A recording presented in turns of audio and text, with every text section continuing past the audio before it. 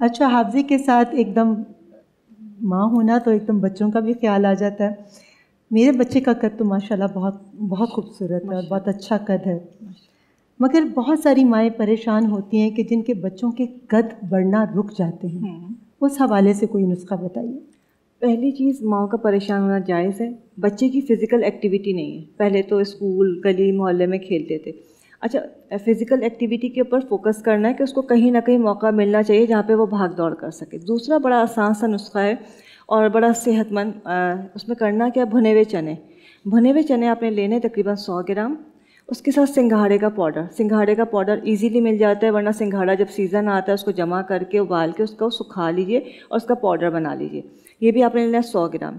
इसके बाद जो तीसरी चीज़ लेंगे वो है अजगन नागोरी। ये भी आपने लेनी है सौ ग्राम। तीनों चीज़ों को सौ सौ ग्राम लिया। ये आपकी एक डोज बन गई मतलब एक आपका फॉर्मूला बन गया। अब इसके बाद जो है, इसमें आपने मिलानी है पचास ग्राम मिश्री और अगर लड़कों को देना है तो पच्चीस ग्राम आप डालेंगे मस्तगी रूमी। और अगर लड़कियों को देना है तो उसमें आप डालेंगे दस ग्राम मस्तगी।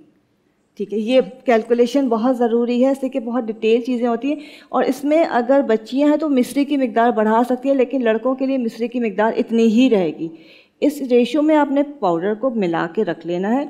वन टीस्पून रोज़ाना जो फ्रेश मिल्क है गाय का दूध सबसे बेहतरीन है बच्चों की ग्रोथ के लिए। आपने गाय के दूध के साथ या बकरी के दूध के साथ देना है।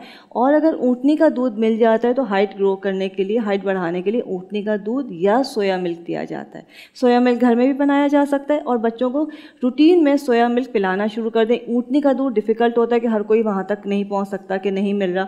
लेकिन सोया मिल्क आपको टेट्रा पैक में भी मिल जाता है और उसका बड़ा आसान सा नुस्खा उनको तरीका मिल जाएगा कि सोयाबीन जो है उसको भिगो के उसको आपने ब्लेंडर में चला के सोया मिल्क बन जाता है। वो रोज़ाना एक गिलास ज़रूर पिलाएँ, ये बच्चों की ग्रोथ के लिए बहुत इफ़ेक्टिव है। बहुत बहुत शुक्रिया।